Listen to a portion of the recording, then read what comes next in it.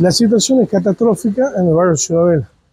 No hay agua, no hay luz, es una vergüenza. Los vecinos de Barrio Ciudadela sufren por los problemas en el servicio de agua y electricidad o directamente por la ausencia de estos servicios desde hace meses o hasta años y tienen que rebuscárselas o ingeniárselas para poder cubrir sus necesidades. Eh, estamos teniendo problema con el agua ya hace prácticamente dos años, dos años y medio. Pago mi boleta como tiene que ser, como todo ciudadano, pero no tenemos un servicio eficiente de agua.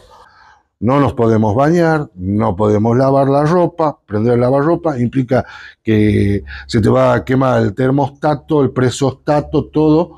Muchos vecinos han optado por comprar bomba.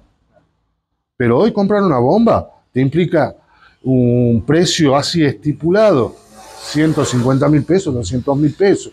Agua para tomar, para el consumo, estoy teniendo comprando agua. Yo para poder lavar un poco la vajilla, eh, allá tengo el aire acondicionado que pongo el bidoncito para llenar agua para poder lavar la vajilla. Como te hice mostrar, tengo los reclamos a la SAT, eh, contesta un, automático, le volvió a remarcar. Eh, la mayoría de los vecinos estamos trabajando con bombas de agua para que se puedan cargar los tanques.